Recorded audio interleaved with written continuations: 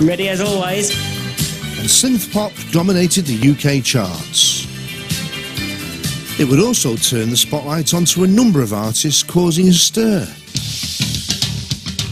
And none more so than Bow Wow Wow, who had recently kicked up a storm of controversy when their then 14-year-old singer, Annabella Lwin, appeared nude on the sleeve of their debut album, a pastiche of Manet's Luncheon on the Grass. A picture was done ages ago, and apparently it was um, a big deal then in 1883 or something, whenever it was done.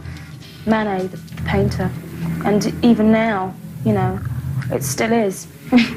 Which just goes to prove that society hasn't really, you know, gone on much from uh, 1883. It's a bit sad, really.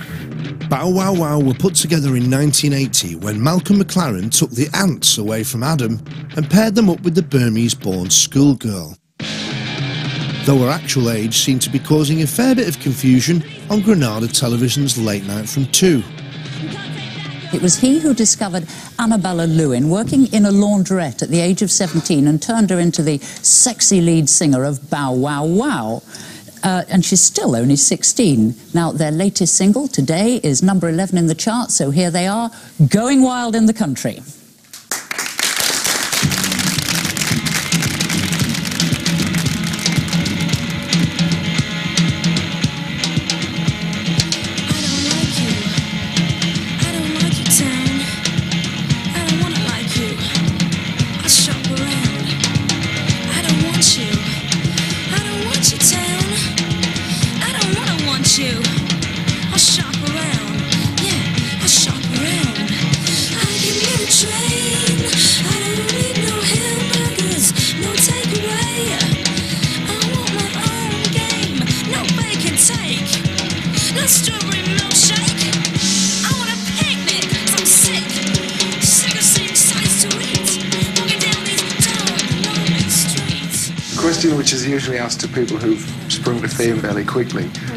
How are you coping with all that side of things? How am I coping?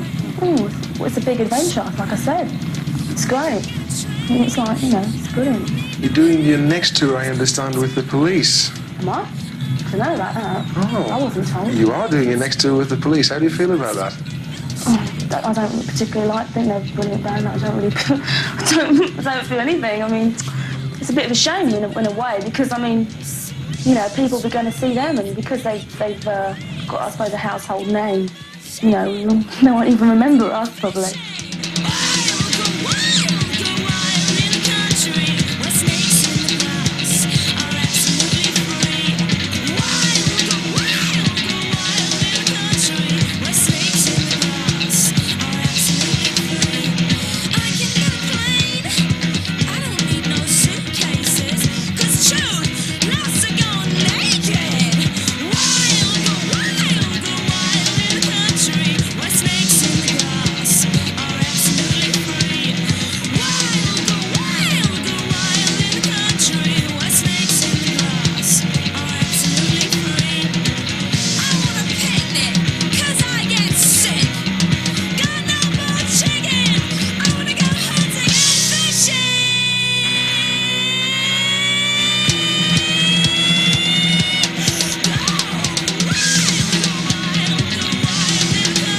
With a rhythm inspired by the traditional drumming style of the tribal musicians of Burundi in Africa, Go Wild in the Country gave Bow Wow Wow their biggest UK hit, peaking at number 7 in the charts.